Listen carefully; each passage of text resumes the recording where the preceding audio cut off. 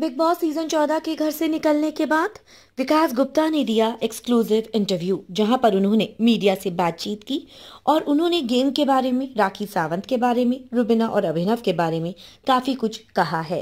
चलिए, आपको tele talkies की इस एक्सक्लूसिव रिपोर्ट में बताते हैं कि आखिर क्या कुछ बोला है विकास गुप्ता ने अपने इविक्शन इंटरव्यू में।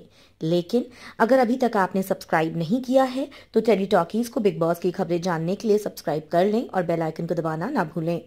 घर से निकलने के बाद विकास गुप्ता के लिए पूछा गया कि आपका इविक्शन क्या आपको पता था तो इस पर विकास कहते हैं कि मेरी तबीयत खराब थी, इसलिए मैं इस बार इतने अच्छे से परफॉर्म नहीं कर पाया। मुझे लग रहा था कि कहीं ना कहीं मैं निकल जाऊँगा, पर जनता ने इतना प्यार दिया, उसके लिए मैं उनका शुक्रगुजार हूँ। लेकिन घर के अंदर निक्की तंबोली के लिए भी उन्होंने काफ़ी कुछ बोला है। उन्होंने कहा है कि निक्की तंबोली अभी बहुत छोटी है, लेकिन उसमें बिल्कुल भी तमीज नहीं है। जिस तरह का व्यवहार वो घर के अंदर कर रही है, उसकी वजह से मुश्किल है उनको इंडस्ट्री में काम मिले।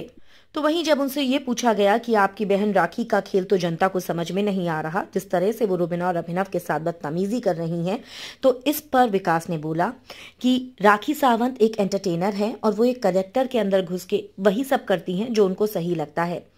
लेकिन इस वजह से रुबिना और अभिनव घर के अंदर अब काफ़ी ज़्यादा डिस्टर्ब हो चुके हैं।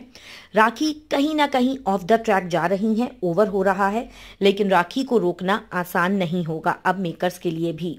तो वहीं जब उनसे पूछा गया कि आपके अकॉर्डिंग कौन होगा शो का विनर तो उन्होंने कहा कि रुबिना या अभिनव में से ही कोई एक होगा जो इस शो का विनर बनेगा। लेकिन मैं ये ज़रूर कहना चाहूँगा कि रुबिना अपने गेम को निक्की का साथ देकर खराब कर रही है। रुबिना खुद गलत नहीं है, लेकिन वो गलत का साथ देकर ज़रूर गलत दिख रही है। यहाँ पर जब विकास से राहुल कृष्ण वैद्य के गेम के बारे में पूछा गया तो विकास ने कहा कि राहुल ने अपने गेम को पहले से काफ़ी खराब करा है और मैंने ये बात उनको घर में भी समझाई है।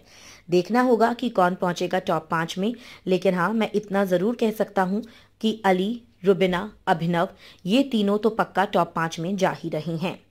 वेल well, दोस्तों आपका इस बारे में क्या कहना है? कमेंट्स में हमें ज़रूर लिखकर बताएँ। वीडियो को लाइक करें शेयर करें। सब्सक्राइब नहीं किया है तो सब्सक्राइब करके बेल आइकन को ज़रूर दबा दें।